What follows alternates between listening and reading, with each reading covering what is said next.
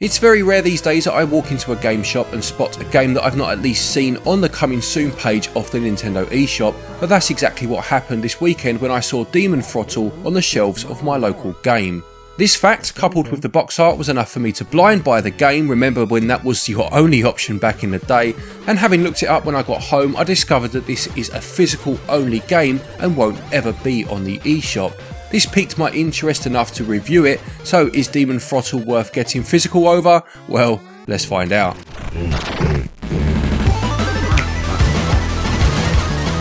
So Demon Throttle is developed by Doinksoft and published by Devolver Digital and Special Reserve Games. As I mentioned in the intro, the decision has been made to not release this game digitally on the eShop and instead keep it as a physical only exclusive, as you can see the box makes reference to this within its artwork. Now as far as I understand, when first announced it was stated that the game would release via Special Reserve Games website which is standard procedure for Devolver Digital published games, with a limited edition that comes with a number of extras such as a manual and stickers as well as a numbered case of course, but a standard release has followed which is the one that I've got and whilst listed as a game exclusive over here in the UK, it appears to also be available on various other websites. The story of the game is of little consequence, but it tells the tale of a vampire whose chalices are stolen by a mysterious demon, and a gunslinger whose wife is kissed, as he puts it, I think you might be in denial there mate, by the same demon. They then join forces to take the demon down. So let's move on to the gameplay itself then, and Demon Throttle is a top-down shooter, very similar in some respects to games such as King's Knight, Ikari Warriors or Commando, and it also reminded me in terms of gameplay style at least, certainly not in terms of quality, of the X-Men game on the NES. You can play in either single player or local co-op and must make your way upwards whilst the screen constantly scrolls, taking out a host of enemies and being sure not to allow yourself to become trapped in a dead end by the advancement of that scrolling screen. Bullets come towards you thick and fast and it does have a sort of bullet hell shooter quality to it at times, but owing to the fact that you are on foot and you aren't obviously a spaceship of any description, you can jump over the bullet patterns which does lead to a nice rhythmic quality when you start to get into the swing of things. There are only four levels and this game adopts the style found frequently in NES games of masking its short length with a pretty brutal difficulty level. You have just one life and when it's gone it's game over and back to the start. If you are playing in single player then you get the one life for both characters, essentially giving you two lives of course, but make no mistake this is a game where you'll be starting again often. Whilst I don't necessarily think this gameplay method holds up well these days, I will say that the gameplay is genuinely fun and having died constantly on level 1, after about half an hour I could beat this stage without being hit, so it definitely has that rewarding quality where you want to get better and keep trying and frustration didn't once set in whilst I played. There is absolutely no procedural generation to things at all, down to the power ups you find being in the exact same place on every run, which means you can start to play by rote, knowing exactly where a health pickup will be if you get hit for example, which again bleeds into that old school style of learning games by heart to get the most out of them. There is a bit of depth to its mechanics in that every enemy you kill earns you experience points and your character can level up as you play which will make their weapon more powerful. Some of the power ups will also add to your character's stats such as with speed or luck and each character is slightly different and what I liked about it was that you could switch between them on the fly by pressing the X button, making sure they were both stocked up with bombs, keeping their health replenished as you went along and then using their respective bombs on the boss to ensure that you got through each one. This was also a good way of making sure that the XP that you were collecting stayed fairly balanced between your two characters. This is different in co-op mode of course where you take on a role each and co-op is a fantastic way to play especially if playing with someone of a similar skill level where you can really start to make some progress. Each level ends with a boss fight and there is also a hidden chalice to find on each stage which from what I've heard is the only way to get the true ending.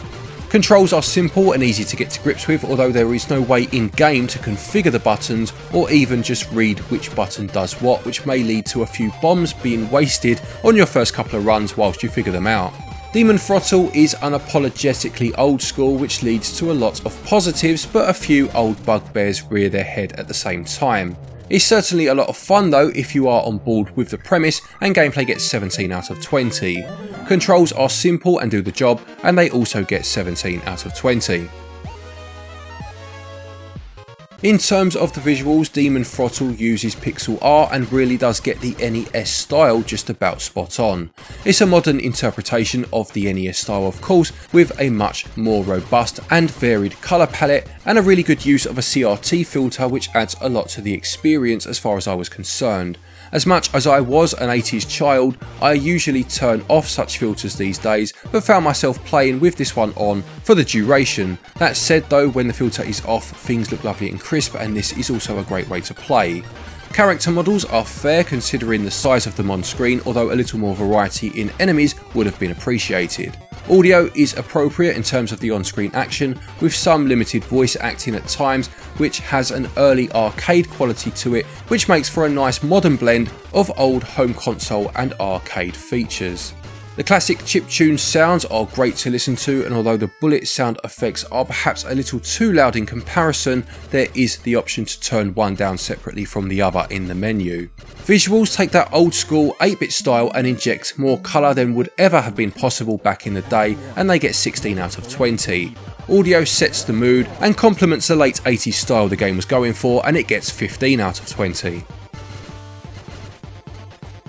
Now usually during the value section we look at the eShop price and a select few regional equivalents, but as mentioned at the start this game is not, and if all concerned stick to their guns, will not ever be available on the eShop. This makes this a very difficult section to score and I thought it would be a good time to discuss the practice of physical only releases. Now even as a staunch physical collector, I struggle to see the benefit of this endeavour. A digital release will never decrease the value of a physical game and I don't really see how denying a digital release assists with game preservation which is why I love physical games so much. As long as there was a physical release, and clearly there is, then surely a digital edition could have coexisted quite happily. That aside though, I must admit seeing a game on the shelf in a store that I'd never heard of or seen on the eShop was a rare treat and I was eager to pick it up for that reason alone, but the price of around £27 to £29.99 depending on where you're looking is too much for what you're getting even if the game itself is actually a lot of fun because ultimately there's only about an hour's worth of content if you're good enough of course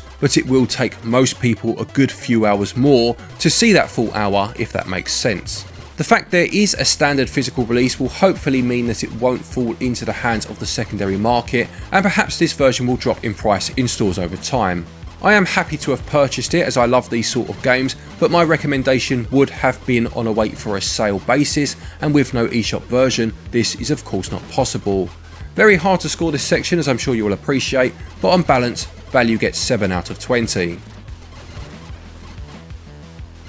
To conclude, I honestly thought the days of physical only releases were a thing of the past and as much as I love collecting physical games, perhaps it should be. That being said, that doesn't detract from the quality of the game itself, which is actually a very fun time and a great throwback to the top-down co-op shooters with sky-high difficulty levels hiding what is essentially a short game. Even when going back to the start after just one life, I was compelled to keep trying, and it's the very epitome of a modern day NES game that will find an audience with fewer people due to its sale practice. If you like to build a physical collection based just as much on the rarity of games as you do the quality, or you like releases that have some sort of unique quirk to them, then this one may well be worth tracking down, but I don't see what harm a digital release would have done, alongside the physical of course, as it means fewer people will get to play what is actually a very good game.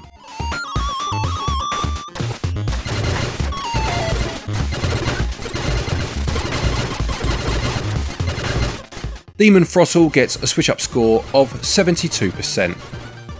Thank you everybody for watching this review, I hope you enjoyed it, please do remember to leave a like if you did. Have you picked this one up? Had you even heard of it? What are your views on physical only releases in 2022? Please do let us know in the comment section below. Don't forget if you are looking for eShop credit, not that it will do you any good for this game, but you can buy your eShop cards from our website switchup.gg, use the code switchup to get 10% off of your order, and if you are looking to import any games, there is a code down there to PlayAsia. Again, use the link, use the code, and you'll get yourself 5% off of an order from there.